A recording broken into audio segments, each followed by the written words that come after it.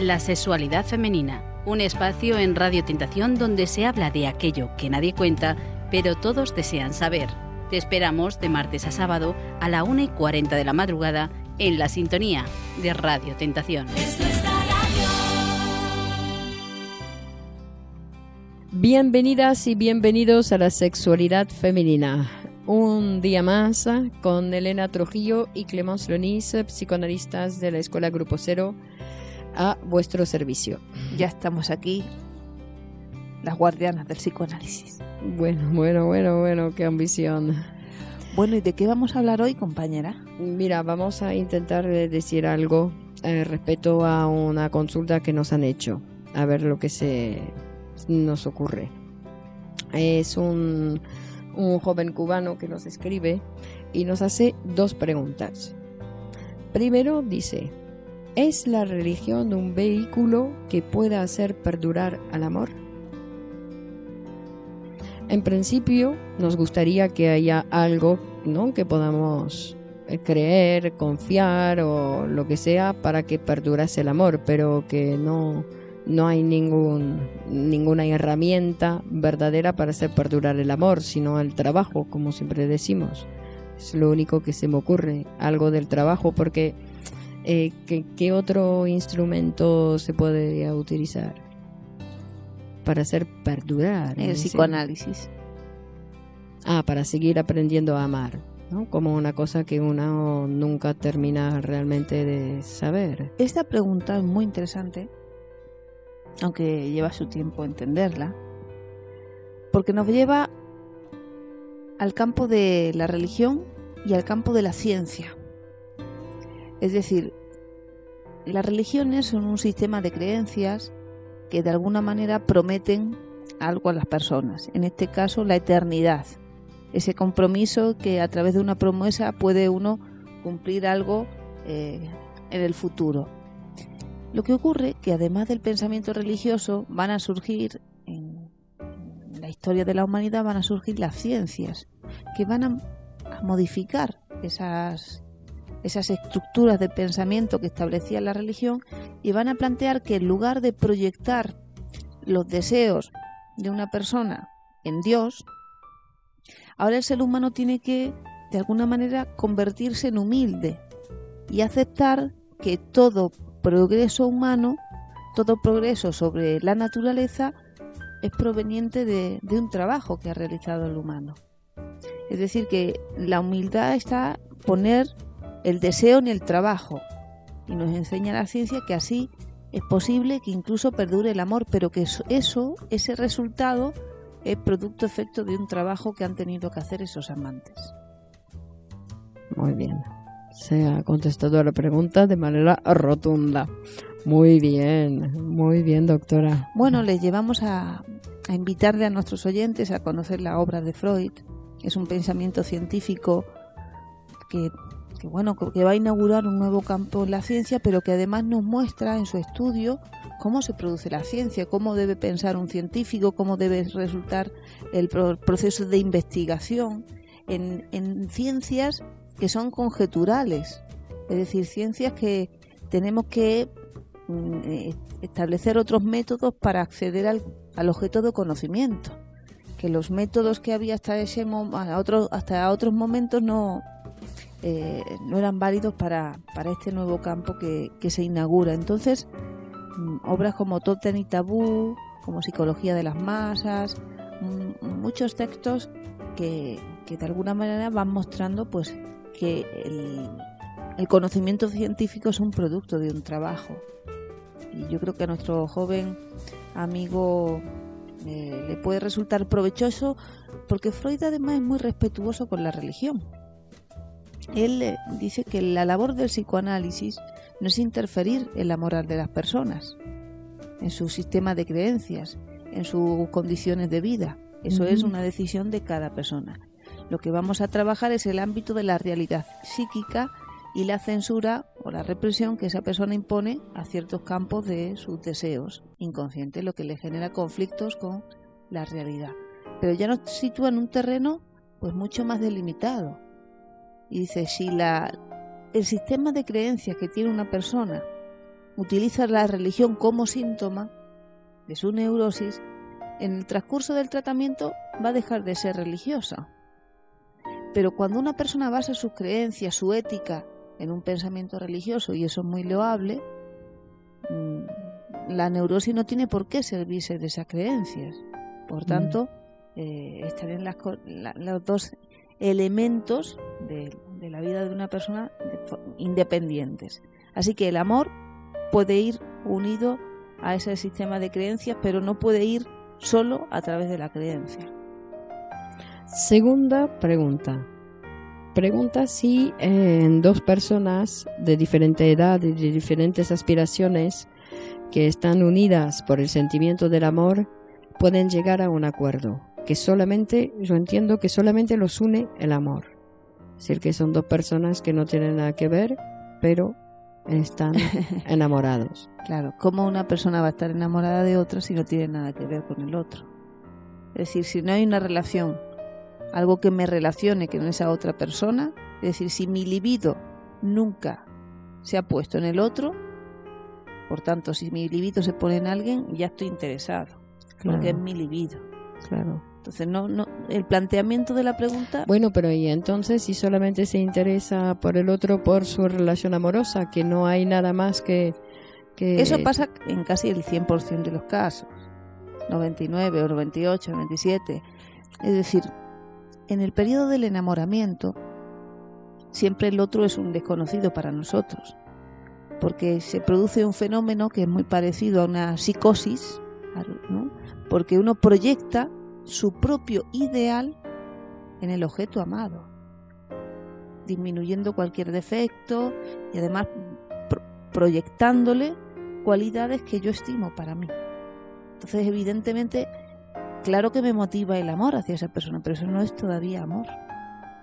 El amor va a ser algo que venga más adelante y que acepte pues los desacuerdos, es decir, acepte lo que nos separa, que acepte que todo tú no vas a estar conmigo, pero me alegro de que haya algo que, te tenga conmigo. Es decir, valoro lo que nos une. Eso ya es amor. Entonces, más bien hay un, una fantasía en ese primer periodo inicial que nos une a esas personas, pero esa fantasía, si no se trabaja para el amor, va a hacer que esa relación fracase o, o tenga ese recorrido, que también es un recorrido. Claro, que no está mal. Claro que no, la vida hay que tener muchos amores, o varios. Eh, también hay personas que nos están escuchando y eh, llevan toda la vida con un, único amor, entre comillas, aunque eso es imposible. Claro, claro, que no, no den importancia a los otros cuando nosotros también tienen un lugar muy importante en la vida de cada uno. Digamos que hay relaciones afectivas o sexuales que uno solo ha podido mantener en exclusividad con esa persona. Pero luego ha habido otras relaciones afectivas que has tenido con tus amigas o compañeras de trabajo, con las personas del barrio que con las que año tras año te has ido relacionando. Hay un montón de personas que tú sin darte cuenta también amas, necesitas, estimas, forman parte de tu, de tu amor propio y incluso tu propia pareja, esa que te parece con la que has compartido tantos años, también ha ido modificándose. Es decir, que si, seguís juntos es también porque os habéis mm, tolerado o respetado pues eh, ese crecimiento a lo largo del tiempo. Claro, porque trabajar, claro, es interesante, porque cuando hay uno que trabaja eh, más, digamos, para la pareja, se transforma más ¿no? que el otro. Es decir, que el crecimiento de cada uno no va a ir a la par tampoco. Es decir, que va a haber eh, desequilibrio. Si lo bueno, ya estás hablando así. de que puede suceder que haya envidia en las relaciones amorosas.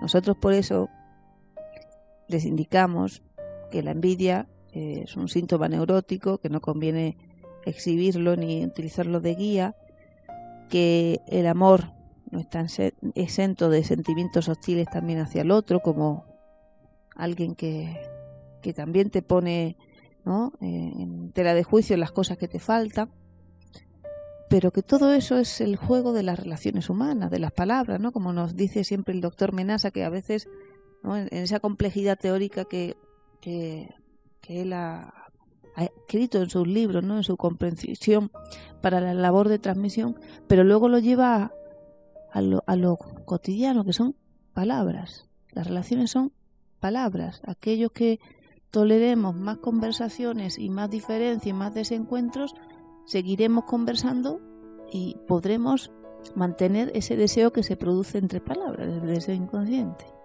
Cuando no hay palabras, ¿qué sostiene esa relación? No la hay. Claro, pero que poder que puedan ser palabras, palabras que vayan hablándose entre sí, porque tampoco las palabras que uno va diciendo tampoco son de uno, sino que son palabras, ¿no? El otro día decías que éramos cada uno es un montón de personas, es decir, que no es que siempre es, es la que habla, sino que cuando hablo, vete a saber quién está hablando.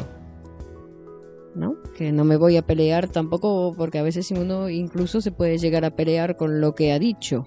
No, no quise decir eso, te lo juro, que no me salió así. Bueno, pero es lo que quise decir, ahora me tengo que arreglar con esa frase que, hacerme cargo de la frase que he dicho. Claro, también es interesante el, la labor de psicoanalizarse, porque al principio, durante mucho tiempo, uno está muy ocupado en su salud mental, en la lucha que uno quisiera dejar de, de tener consigo mismo, pero el otro nivel de análisis también es entender o relativizar el valor del conocimiento, de la conciencia, el valor de, del entendimiento que a veces nos lleva como a, hacerlo, ¿no? Como si las personas fueran solo matemáticas y no fueran una producción, una producción cada vez. Claro, que es algo que se mm. produce y que depende, como, ¿no? El doctor Menasa decía cada caso es diferente y hay que ver, decir, que, que esas diferencias no se pueden anular. Claro. Está ahí en, la escucha del psicoanalista, tiene que estar la teoría, pero luego ya es en la escucha lo que permite ver la particularidad de cada uno, que es lo interesante, que también uno se permita construir su particularidad, que no quiera compararse con nada, que no quiera limitarse, sino que se permita desarrollarse como un humano que es. Sí, con sus particularidades. Es muy interesante. Por eso que nosotras también cuando contestamos a las preguntas es una respuesta, digamos, para hacernos hablar, no tanto para dar una ni una solución a lo que se ha planteado, ni una manera de ver y que es la única. No, eso se produce cada uno. Esas cuestiones que tiene se las tiene que ir haciendo en su análisis con su psicoanalista, ¿no? En esas conversaciones, primero para aprender a preguntar y luego para ver que las respuestas no son respuestas, sino son algún entendimiento que uno llega que le genera una nueva pregunta. exacto. Como así funciona el pensamiento, de pregunta en pregunta. Ser que y es mejor así, porque si cerramos el sentido, ya hemos muerto. Claro, además nos alejamos del humano. Es que cuando yo digo ella es así, ya estoy fuera de lo científico.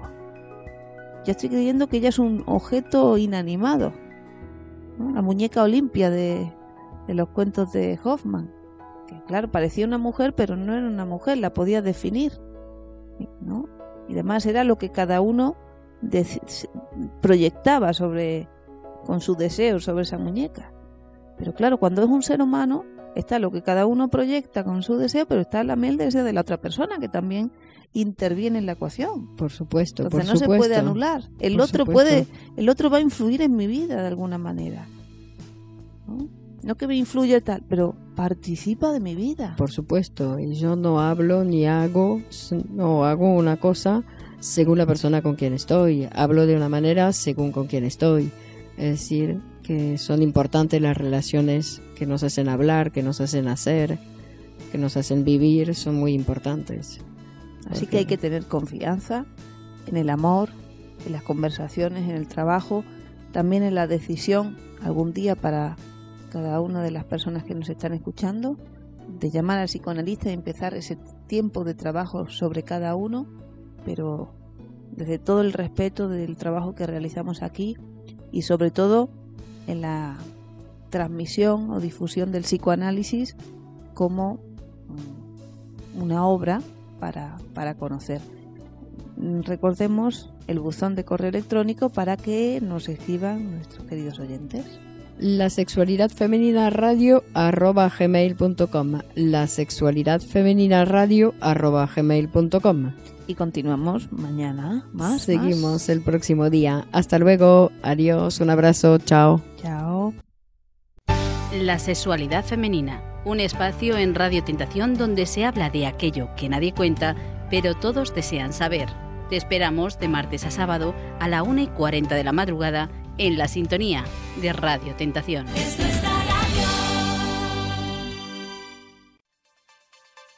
En el mundo, más de 100 millones de personas están agradecidas al psicoanálisis. Interviene en la curación o el mejoramiento de más de 100 enfermedades. Recomendamos el tratamiento del psicoanálisis a todo el mundo. Grupo Cero.